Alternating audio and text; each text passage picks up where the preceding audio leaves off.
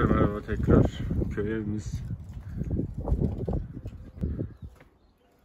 şu anda bitme aşamasında tamirat tadilatı artık sona geldi.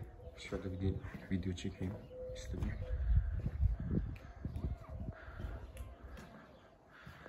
Burası bizim balkonumuz. Bayağı bir geniş oldu.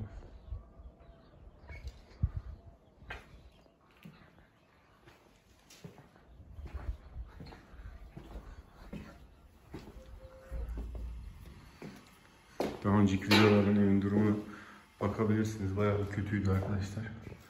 Son hali şu şekilde.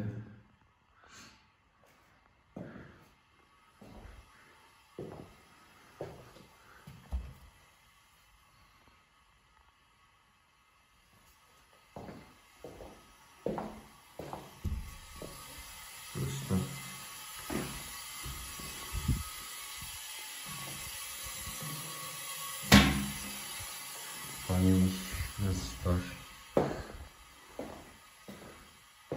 Burası mutfağımız. Mutfak fayanslarını bitirdiler.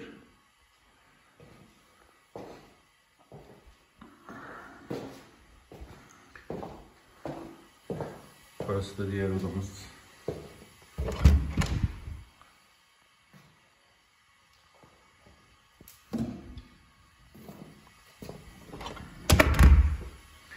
Bu hale getirmemize de geçen sene başladık arkadaşlar bu tamirat tadilata.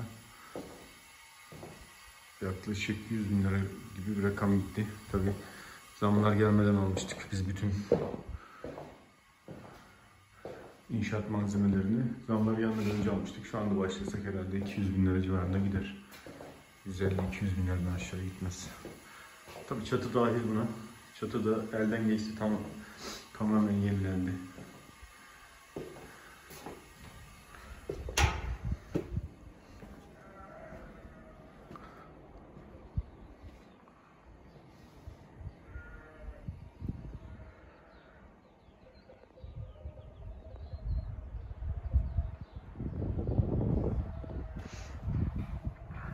Burası da bahçesi.